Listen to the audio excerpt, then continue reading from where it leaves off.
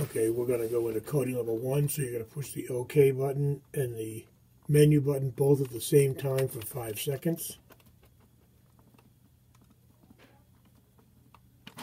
And then it's going to come up with diagnosis, coding level one. Then you're going to push the OK and the return button both again for five seconds.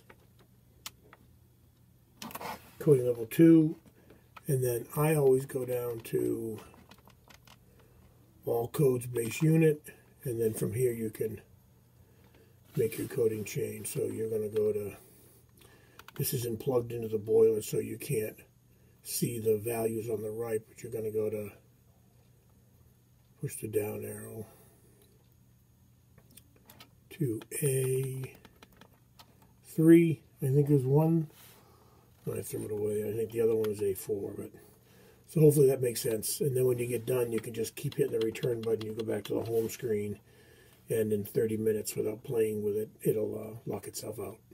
Okay, hopefully that helps.